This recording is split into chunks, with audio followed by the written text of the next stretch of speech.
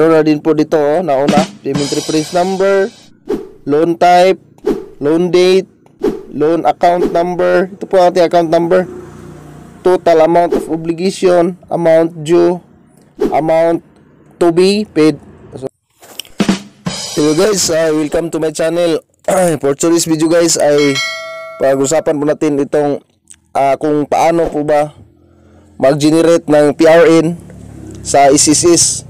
So dito na po tayo guys sa Google. Type ito sa Google, mag-login na po tayo para makapag-generate. Mag-generate po tayo ng PRN para makapagbayad po tayo sa GCash. So dito guys, i-search natin itong SSS. Ganito lang po guys kadali. Pagkatapos natin i-search yung SSS, dito sa baba, member. So i-click na po natin itong member. Si member po tayo. At makikita natin dito guys, member login, user ID at password. So magla-login na po tayo dito guys. Pagkatapos na pagkatapos nating na-type ang ating user ID at password, ito na po ang ating makikita na lumabas. So X lang po natin ito guys. O maybe next time pwede rin po. So X, pagkatapos dito tayo sa uh, ito PRN o Payment Reference Number. Click natin yung uh, PRN tapos under PRN dito sa loans to loans click natin ditong loans parang ano? Bagal. Yan.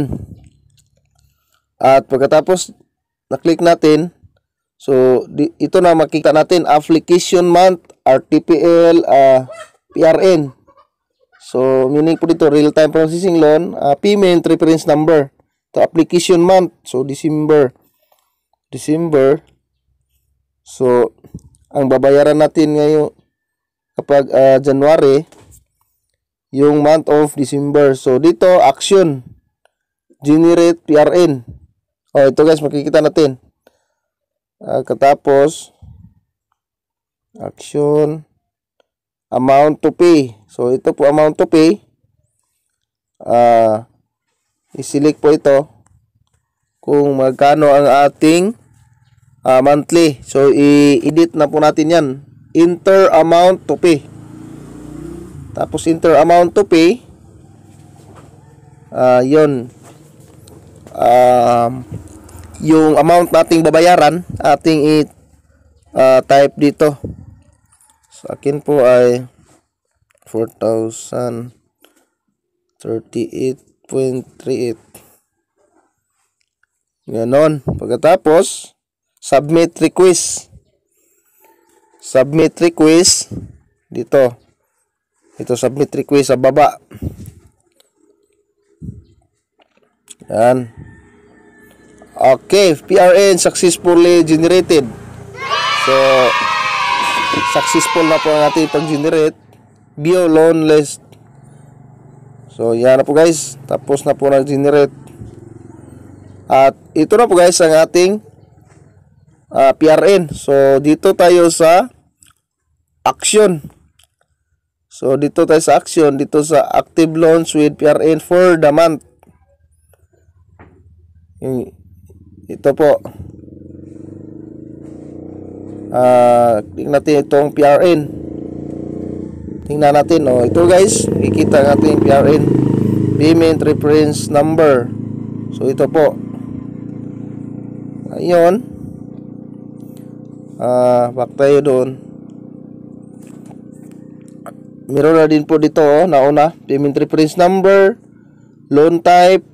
Loan date loan account number, ito po ating account number, total amount of obligation, amount due, amount to be paid.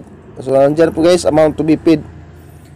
So, kapag, ano, ah, uh, kapag baguhin mo yung amount, ay save change na lang po, click.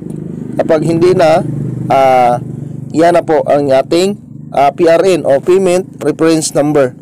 So, yan lang po guys, kadali yung ating pag-generate. Uh, so, yun, pumunta na po tayo sa Gcash para makapag uh, bayad ng ating monthly loan sa ISIS.